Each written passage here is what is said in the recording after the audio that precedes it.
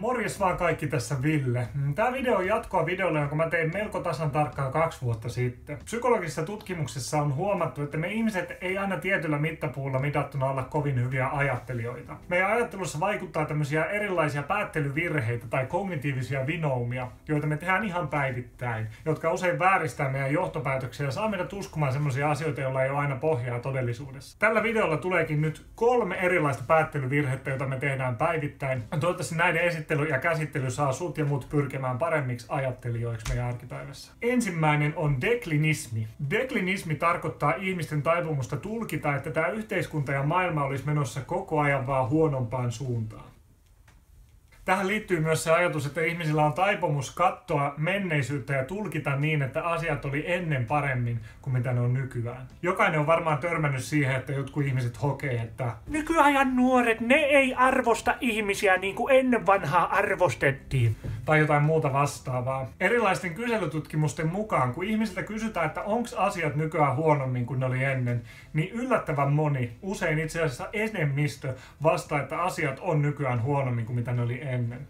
Tämä siitäkin huolimatta, että lukuisilla mittarilla mitattuna nykymaailmassa on itse asiassa asiat paljon paremmin kuin mitä ne oli ennen. Meillä on paljon enemmän tasa-arvoa, meillä on vähemmän väkivaltaa ja sotia, meillä on vähemmän köyhyyttä, meillä on enemmän koulutusta, enemmän lukutaitoa ja niin edelleen. Tähän ajatteluharhaan törmää paitsi erilaisissa arkissa tilanteissa, niin myös tietyissä spesifeissä jutuissa. Esimerkiksi poliittiset puolueet saattaa tosi usein ajaa sitä omaa agendaa lupaamalla, että me siirrytään takaisin johonkin menneisyyden kulta-aikaan, me suljetaan rajat ja kaikki on taas hyvin. Sen lisäksi tosi moni uskonnollinen ja kristillinen ryhmä tulkitsee tätä maailmanhistoriaa sillä tavalla, että se on jatkuvaa rappiota ja moraalittomuus ja pahat teot lisääntyy ja lisääntyy, kunnes sitten joskus tulevaisuudessa Jumala puuttuu siihen kaikkeen. Selviytyjä harha tarkoittaa sitä, että ihmisillä on taipumus keskittyä ja huomioida ne ihmiset ja ne asiat, jotka on selviytynyt jostain prosessista ja ignorata ne ihmiset ja asiat, jotka ei ole selviytynyt tästä prosessista. Tämä voi puolestaan johtaa siihen, että me tehdään vääriä ja joskus jopa vaarallisiakin johtopäätöksiä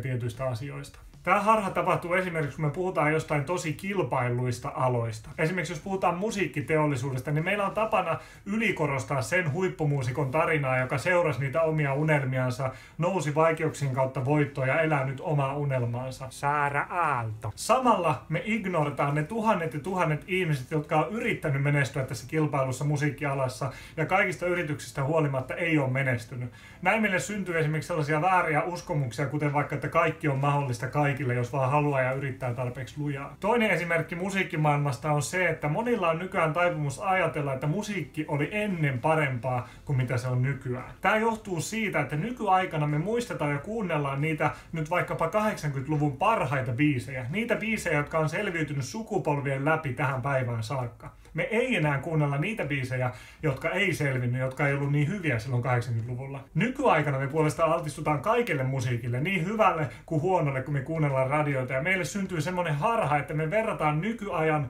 hyvää ja huonoa musiikkia siihen 80-luvun hyvään musiikkiin. Nämä on periaatteessa aika harmittomia ilmiöitä. Selviytyjäharha on kaikista vaarallisin silloin, kun vaikkapa joku ihminen päättää jättäytyä pois jostain lääketieteellisesti turvallisesta ja todistetusta hoidosta, vaan sen takia, että se tapaa jonkun yhden ihmisen, joka on selviytynyt samasta sairaudesta mukana, jonkun huuhaa-hoidon avulla, eikä näe niitä tuhansia ihmisiä, kenen elämän tuo huuhaa-hoito on tuhon. Tämmöinen valikoiva selviytyjiin keskittyvä kuva todellisuudessa saattaa joskus olla jopa vahingollinen. Valokeila harha tai spotlight effect tarkoittaa sitä, että meillä ihmisillä on taipumus luulla, että meitä tarkkaillaan ja meidät huomataan paljon enemmän kuin mitä oikeasti tapahtuu. Koska meistä jokainen on jatkuvasti meidän oman maailmansa keskiössä, niin me usein yliarvioidaan sitä, miten paljon toiset ihmiset huomaa meitä erilaisissa tilanteissa. Tämä saattaa sitten saada meissä aikaan vaikkapa erilaista sosiaalista jännitystä. Kun me tehdään joku pieni moka vaikkapa laulaessa tai puhuessa tai julkisesti, tai sitten me vaikka läikytetään maitoa koulun ruokalassa tai kaadutaan rappusissa,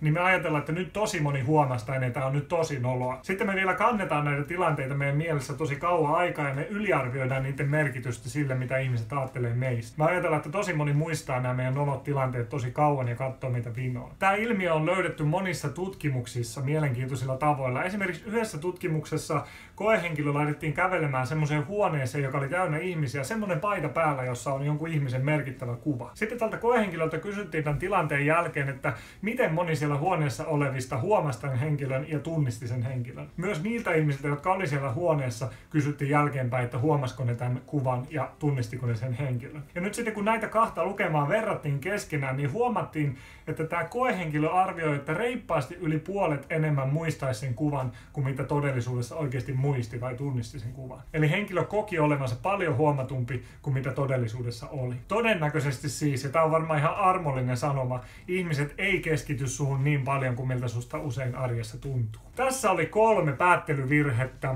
minkälaisia ajatuksia nämä herätti susta? Vai onko sä huomannut, että nämä vaikuttaisi sussa jossain tietyssä tilanteessa? Heitä jotain esimerkkiä tuohon alas. Jos sä haluat, että tämmöisiä päättelyvirheitä, kognitiivisia vinomia käsitteleviä videoita tulee jatkossa lisää, paina peukkua ylös, niin mä näen, että te tykkäsitte tässä videossa. Tätä saa jakaa omissa sosiaalisissa medioissa ja please, tilaa mun kanava. Please. Mitä ihmettä? Please, please, please. Ei muuta kuin seuraavaan kertaan. Se on moro.